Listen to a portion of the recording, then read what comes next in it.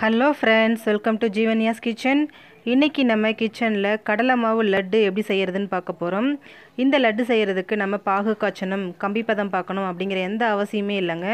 ரொம்ப சுலபமாக செஞ்சு முடிச்சிடலாம். இந்த லட்டு செய்கிறதுக்கு இன்றைக்கி இந்த பவுலால் ஒன்றரை கப் அளவுக்கு நான் கடலை மாவு எடுத்துக்கிறேங்க. நல்லா ஜலிச்சிட்டு எடுத்துக்கோங்க.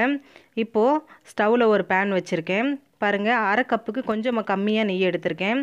இதில் ஃபஸ்ட்டு ஒரு ஸ்பூன் மட்டும் நம்ம நெய் சேர்த்துக்கலாம்.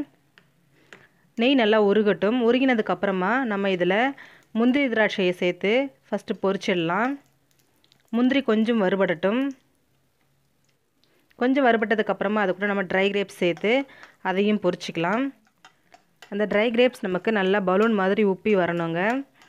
பாருங்கள் இந்த அளவுக்கு வந்ததும் நம்ம இதை எடுத்து தனியாக வச்சிடலாம். இப்போ அதே நெய்யில் மீதி இருக்க நெய் எல்லாத்தையும் சேர்த்துக்கலாம். நெய் வந்து சூடாக வேணாம் கரைஞ்சா போதும். நெய் கரைஞ்சதும் நம்ம எடுத்து வச்சுருக்க கடலை மாவை இதில் சேர்த்துக்கலாம். இது நம்ம ஸ்டவ்வு லோ ஃப்ளேமில் வச்சு தாங்க செய்யணும். அப்போ தான் மாவு நமக்கு அடியில் பிடிக்காமல் நல்லா வரும். இது ரெடி ஆகிறதுக்கு நமக்கு எட்டுலேருந்து பத்து நிமிஷம் ஆகுங்க. அது வரைக்கும் கைவிடாமல் லைட்டாக இந்த மாதிரி நல்லா மிக்ஸ் பண்ணி விடலாம். அந்த நெய்யும் கடலை மாவும் நல்லா சேர்ந்து அதுக்கப்புறமா நெய் நமக்கு பிரிய ஆரம்பிக்கும். அதே சமயம் நெய்யோட வாசனையும் கடலை மாவு வாசனையும் நல்லா நமக்கு வர ஆரம்பிக்குங்க. அதுதான் நமக்கு சரியான கன்சிஸ்டன்சியாக இருக்கும்.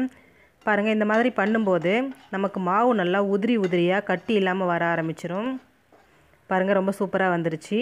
இப்போ நமக்கு இது கொஞ்சம் நெய் பிரியட்டும். நெய் இந்த மாதிரி உருக ஆரம்பிக்கும் போது கெட்டியாக ஆரம்பிக்குங்க.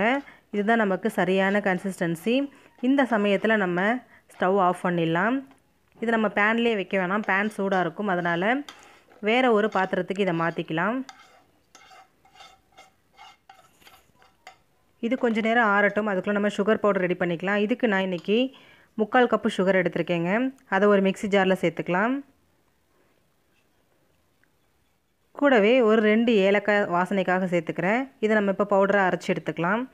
பாருங்கள் நமக்கு சுகர் பவுடர் ரெடி ஆகிடுச்சு இப்போ இந்த பவுடரையும் நம்ம கடலை மாவு கூடயே சேர்த்துக்கலாம். இது சூடாக இருக்குது அதனால் ஸ்பூன் வச்சு ஃபஸ்ட்டு நல்லா மிக்ஸ் பண்ணி விட்டுக்கலாம். நல்லா மிக்ஸ் ஆனதுக்கப்புறமா நம்ம ஸ்பூனை எடுத்துகிட்டு கையாலேயே கலந்து விட்டுக்கலாம். நம்ம இதில் சுகர் பவுடர் ஆட் பண்ணியிருக்கிறதுனால மாவில் இருக்க சூடும் சுகர் பவுடரும் சேர்ந்து நமக்கு மாவு கொஞ்சம் இலகி வருங்க. லட்டு பிடிக்கிறதுக்கு சரியான பதத்துக்கு வந்துடும் பாருங்கள் கரெக்டாக வந்துருச்சு. இப்போ இது கூட நம்ம பொறிச்சு வச்சுருக்க முந்திரி திராட்சையும் சேர்த்து ஒரு டைம் நல்லா கலந்து விட்டுக்கலாம். அவ்வளோதான் நமக்கு லட்டு செய்ய மாவு ரெடி ஆகிடுச்சு இப்போ இது உங்களுக்கு என்ன சைஸில் தேவையோ அந்த சைஸில் நீங்கள் லட்டு செஞ்சுக்கலாங்க. நான் மீடியம் சைஸில் செய்கிறேன் இந்த மீடியம் சைஸ்க்கு நான் எடுத்திருக்க மாவுக்கு பத்துலேருந்து பன்னெண்டு லட்டு வருங்க. சின்ன சைஸில் செஞ்சோம் அப்படின்னா பதினஞ்சு லட்டு வரும். நல்லா இந்த மாதிரி டைட்டாக அழுத்தி பிடிச்சி லட்டு உருட்டிக்கோங்க. பாருங்கள் நமக்கு சாஃப்டாக எவ்வளோ சூப்பராக கடலை மாவு லட்டு ரெடி ஆகிடுச்சு இது வந்து தண்ணி நம்ம எதுவுமே ஆட் பண்ணலைங்க. அதனால் இது ஒரு பதினஞ்சு நாள் வரைக்கும் உங்களுக்கு கெடாது நல்லா இருக்கும். இதே மாதிரியே நம்ம ரெடி பண்ணி வச்சுருக்க மாவு எல்லாத்துலேயுமே நம்ம லட்டு செஞ்சுக்கலாம். ஒருவேளை உங்களுக்கு லட்டு செய்ய அது வரலைன்னா கூட இன்னும் ஒரு ஒரு ஸ்பூன் அளவுக்கு நெய் ஆட் பண்ணிக்கோங்க. அப்போ உங்களுக்கு சரியாக இருக்கும். நல்லா இந்த மாதிரி கையில் வச்சு அழுத்தி உருண்டை பிடிச்சிக்கோங்க. அப்போ தான் நமக்கு லட்டு சூப்பராக இருக்கும். பாருங்கள் ரொம்பவே சூப்பரான லட்டு ரெடி ஆகிடுச்சு இந்த லட்டு செய்கிறதுக்கு நம்ம பாகு காய்ச்சலை கம்பி பதம் பார்க்கல எந்த ரிஸ்க்குமே இல்லைங்க. ரொம்பவே சுலபமாக செஞ்சு முடிச்சிட்டோம். நீங்களும் இதை ட்ரை பண்ணி பாருங்கள் ட்ரை பண்ணி பார்த்துட்டு உங்களோட கமெண்ட்ஸை எனக்கு சொல்லுங்கள் உங்கள் ஃப்ரெண்ட்ஸ் அண்ட் ஃபேமிலி எல்லாருக்கும் இதை ஷேர் பண்ணுங்கள் மறக்காமல் நம்ம சேனலை சப்ஸ்கிரைப் பண்ணி பக்கத்தில் இருக்க பெல் ஐக்கானையும் கிளிக் பண்ணிக்கோங்க. தேங்க்யூ